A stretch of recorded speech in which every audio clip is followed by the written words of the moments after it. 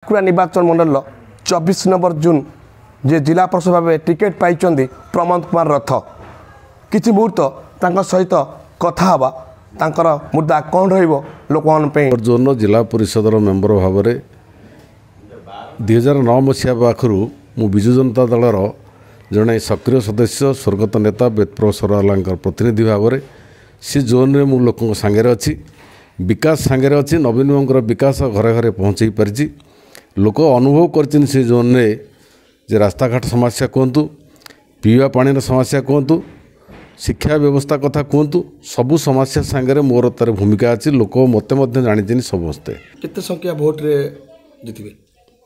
Vote ତ ମୁଁ ଭାବୁଛି ଜିଲ୍ଲାରେ ସର୍ବ- ସର୍ବାଧିକ ଭୋଟ୍ ବ୍ୟବଧାନ ମୁଁ ଜିତିବି ଏଇଥିପାଇଁ ଜିତିବି ଯେ ଦୁଇହଜାର ନଅ ମସିହା ଠାରୁ ମୁଁ ସେ ଜୋନ୍ରେ ଲୋକଙ୍କ ସାଙ୍ଗରେ ଅଛି ଏବଂ ନବୀନ ବାବୁଙ୍କର ବିକାଶ କଥାଟାକୁ ନେଇକିରି ମୁଁ ନିଶ୍ଚିତ ଭାବରେ ବିପୁଳ ଭୋଟ୍ରେ ବିଜୟୀ ହେବି।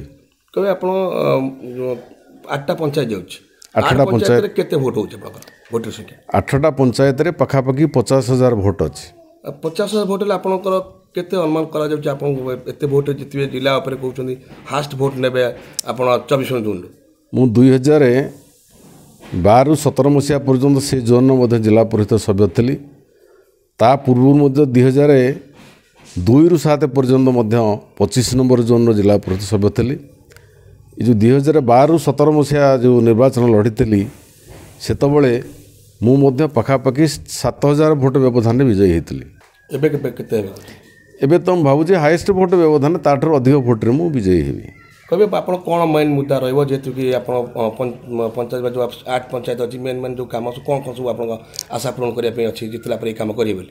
ନିଶ୍ଚିତ ଭାବରେ ଆଗାମୀ ଦିନରେ ଯାହା ଅଧୁରା କାମ ରହିଛି ସ୍ୱର୍ଗତ ନେତା ବେଦପ୍ରଫେସର ଅଲାଙ୍କର ଏବଂ ବର୍ତ୍ତମାନର ବିଧାୟିକା ସାବିତ୍ରୀ ଅଗ୍ରୱାଲାଙ୍କର ସେ କାର୍ଯ୍ୟରେ ତାଙ୍କୁ ସହଯୋଗ କରି ଲୋକଙ୍କର ଆଶା ଆକାଂକ୍ଷା ପୂରଣ କରିବି।